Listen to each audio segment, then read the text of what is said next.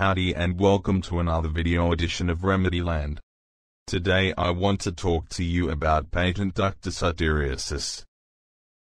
Patent ductus arteriosus occurs when the developing ductus arteriosus does not close and persists as a shunt connecting the left branch of arteria pulmonalis and aorta, usually near the left subclavian.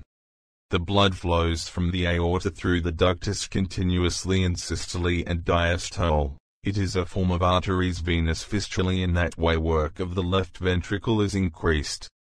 In some patients, obliterative changes in blood vessels in the lungs are leading to pulmonary hypertension. In that case, shunt is bidirectional or right-left. The clinical picture of patent ductus arteriosus, symptoms and signs of patent ductus arteriosus. There are no symptoms until a left ventricular decompensation. The heart is in the normal range or easily increased with strong action at the top. A pulse pressure is wide and diastolic pressure is low. To the left, on the edge of the sternum in the first intercostal space can be heard a continuous harsh murmur, accented in late systole. Thrill is common. If there is a significant increase in left ventricle there is an paradoxical splitting of the second tone.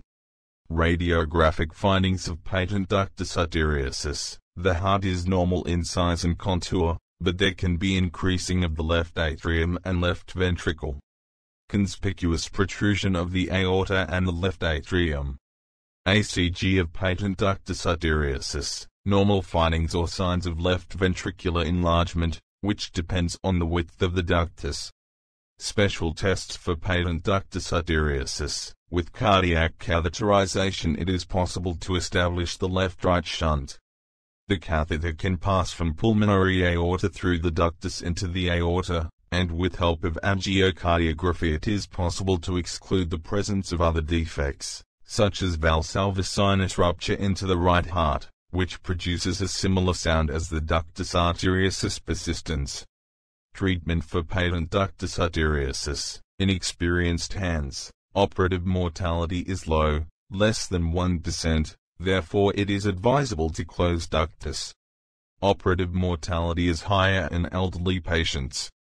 Therefore, surgical intervention should be advised carefully, particularly if the patients are asymptomatic and do not have left ventricular hypertrophy.